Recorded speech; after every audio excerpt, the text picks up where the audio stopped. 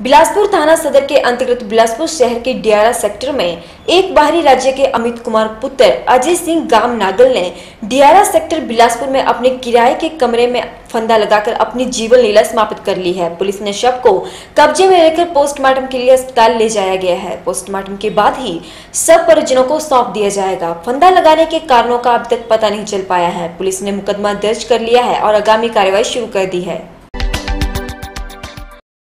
बिलासपुर थाना सदर के अंतर्गत बिलासपुर शहर के डियारा सेक्टर में एक बाहरी राज्य के अमित कुमार पुत्र अजय सिंह गाँव नागल जिला बुलंदशहर यूपी उम्र 20 साल ने डियारा सेक्टर बिलासपुर में अपने किराए के कमरे के अंदर फंदा लगाकर अपनी जीवन लीला खत्म कर ली है। पुलिस ने शव को कब्जे में लेकर पोस्टमार्टम के लिए अस्पताल भेज दिया है। पोस्टमार्टम के बाद शव परिजनों को दिया गया। अभी तक फंदा लगाने के कारणों का पता नहीं चल पाया है। पुलिस ने मुकदमा दर्ज कर लिया है और आगे की कार्रवाई जारी कर दी है।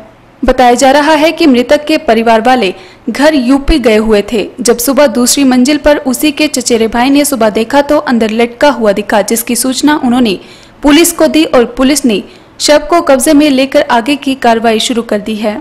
डीएसपी संजय शर्मा ने बताया कि सुबह पुलिस को सूचना मिली कि डियारा सेक्टर में बाहरी राज्य के व्यक्ति ने अपनी जीवन लीला समाप्त कर ली है। पुलिस कार्रवाई कर रही है और फंदा लगाने के कारणों का पता लगा रही है।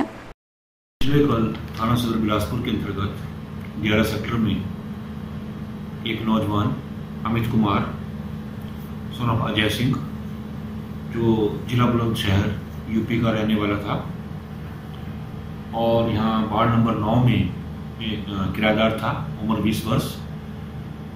फांसी का फंदा लगा के जो है वो आत्महत्या उसने कर ली है। पुलिस की टीम ने मौका पे पहुँच के जो है शव को कब्जे में लेकर जो है वो उसका आर एच बिलासपुर में पोस्टमार्टम जो है आज करवा दिया है और शव जो है वो उसके परिजनों के हवाले कर दिया है। पुलिस इस सारे मामले की जो है वो जाँच कर रही है कि किन परिस्थितियों में जो है वो ये फंदा लगाया गया और धारा एक सौ चौहत्तर सी आर पी सी के अंतर्गत जो है वो पुलिस आगामी कार्रवाई कर रही है।